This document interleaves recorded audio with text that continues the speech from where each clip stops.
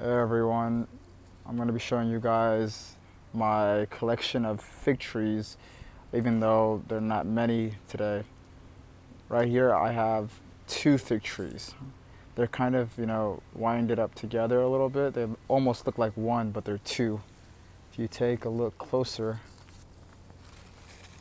there's one and there's a second one. It's probably about, you know, six to eight inches apart. The first one right here is a strawberry verte. Uh, it's a green fig.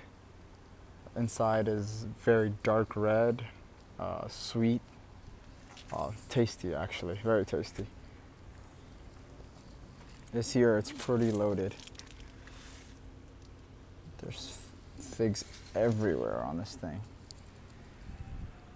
So they're medium. Um, the fig next to it is the, the Sot. I love the leaves on this thing. Check it out. Very, very big leaves. Single lobe too, a lot of them. But these figs are huge. So this is a, a dark fig. Um, and you could tell, you know, the, the figs here before they're, these are not, these aren't even ready, but you could tell they're pretty big figs. I wrapped a few today in these organza bags they're starting to turn color.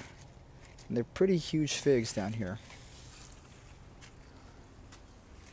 They should be ready in a few weeks or so. And then over here I have the strawberry verte that I took uh, from a cutting this past season. I think was it last season? Actually, no, it was, it was this winter that I rooted. Yeah, so I'll probably just give that away to one of my neighbors.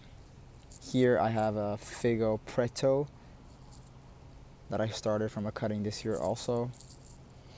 And down here I took off a few figs so they can get ripe a little quicker. They were very small. I looked like they were going to take a little bit longer.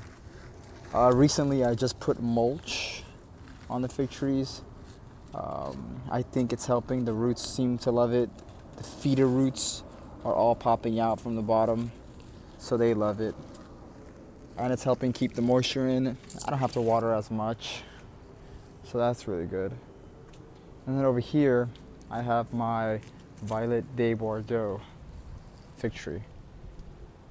This is also a dark fig. It's a very tasty fig.